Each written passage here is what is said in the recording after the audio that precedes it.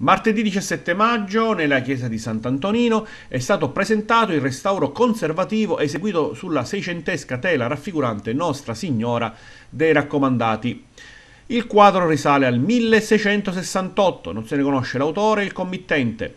Le dimensioni sono imponenti, quasi due metri di larghezza per tre di altezza. Da tempo versava in un indecoroso stato di conservazione ed è stato recuperato grazie all'impegno ed alla perseveranza delle tre confraternite di Santa Croce.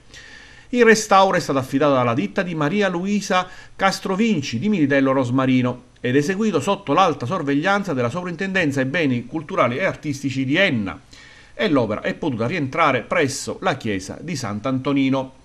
Presenti all'evento un folto pubblico, i tre rappresentanti delle tre confraternite di Santa Croce, padre Santino Paternò per la curia vescovile di Nicosia.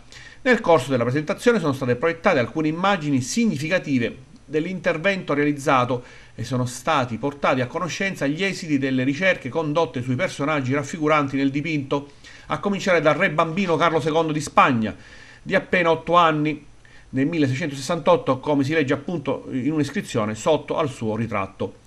Figura storica travagliata da problemi di salute legati al fatto che era figlio di diretti consanguinei, come era in uso nelle famiglie reali per ragioni dinastiche.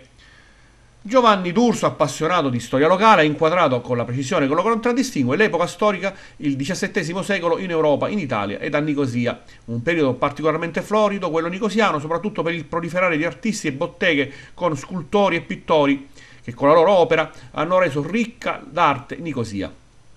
Tra questi è ipotizzabile che vi sia l'autore del quadro che raffigura Nostra Signora dei Raccomandati, ma ad oggi non si hanno certezze in merito.